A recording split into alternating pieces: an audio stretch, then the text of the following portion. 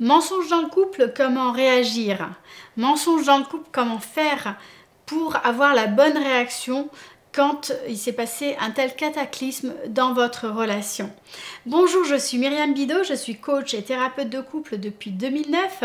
J'accompagne des femmes, des hommes, des couples à être bien dans leur relation ici à mon cabinet près de Lyon, mais également à travers mes programmes de coaching et mes séances en individuel ou en couple à distance. Alors, comment faire quand votre partenaire vous a menti, comment avoir la bonne réaction, comment faire pour ne pas faire tout voler en éclats? C'est ce que je vais faire à travers 8 étapes clés dans cette vidéo. Alors la première chose, quand vous êtes face à une situation où il y a eu un gros mensonge, où il y a eu quelque chose qui est un cataclysme dans votre relation, c'est de ne pas surréagir. C'est de prendre votre calme, c'est de garder véritablement votre calme. Alors c'est facile à dire, hein, mais véritablement, si vous voulez euh, euh, bien réagir, la première chose c'est de redescendre un petit peu en pression, de ne pas vous laisser complètement téléguider par vos émotions qui vont probablement être très fortes et d'essayer de euh, vous poser et de ne pas réagir à chaud. Première chose. Deuxième chose, posez-vous. Posez-vous. Prenez le temps. Faites de la méditation, allez marcher, faites des choses qui vont vous permettre de redescendre sur le plan émotionnel pour, comme je le disais, ne pas réagir à chaud. Troisième chose, ne prenez pas de décision hâtive. Quand on est sous le coup de l'émotion, quand on est sous le coup d'une découverte importante, quand on est sous le coup d'une prise de conscience qui va être violente euh, et qui est euh, qui vous met dans une situation où il y a véritablement un effet euh, de surprise important, il n'est pas du tout le moment de prendre une décision. Ce n'est pas du tout le moment. Ce n'est ni le moment pour vous, ni le moment pour votre partenaire. Et en réalité, toute décision que vous pourriez prendre ne serait pas ni adaptée, ni pérenne. Quatrième chose, c'est le fait de bien vous faire soutenir, c'est-à-dire de choisir les personnes à qui vous allez parler. Parce que vous allez avoir besoin de parler quand vous êtes dans une situation où vous êtes face au mensonge avec votre partenaire. Mais il faut bien choisir ces personnes-là. Donc choisissez des personnes de confiance, des personnes suffisamment matures, qui ont suffisamment de recul par rapport aux choses et des personnes qui vont euh, ne pas prendre parti par rapport à la situation.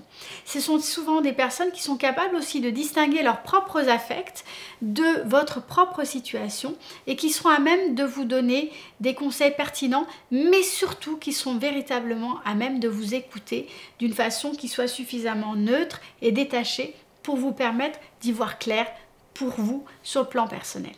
La cinquième étape, c'est de ne surtout pas hésiter à parler à un professionnel.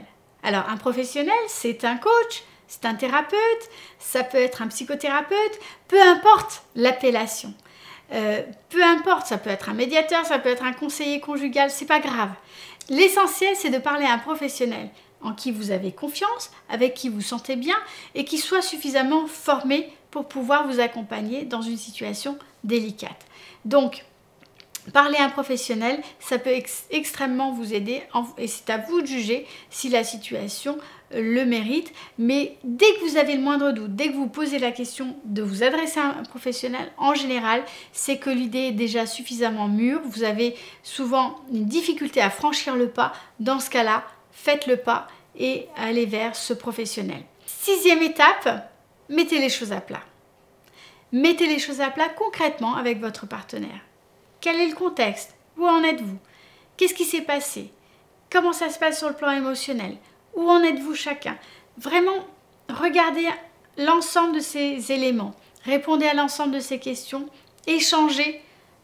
Quand vous êtes trop activé émotionnellement, Prenez des pauses, faites des breaks, mais reprenez toujours les conversations afin d'avancer et de pouvoir progressivement clarifier la situation et vous sentir progressivement un petit peu mieux ensemble. Et puis, dernière étape, dernier point, reprenez l'ensemble de ces choses et faites-le en prenant chacun vos responsabilités. Quand il y a eu un mensonge dans le couple, en général, bien sûr qu'il y a une personne qui a... Euh, euh, trahi et qui a une brèche dans le contrat de confiance et qui a pris cette décision-là dans le couple. Mais en général, tout ce qui se passe dans votre relation de couple est la résultante de vos interactions. Et du coup, vous êtes tous les deux co-responsables de ce qui se passe dans la relation de couple et vous avez tous les deux une co-responsabilité dans la façon dans laquelle vous allez pouvoir transformer cette difficulté en une possible opportunité pour faire avancer les choses pour vous.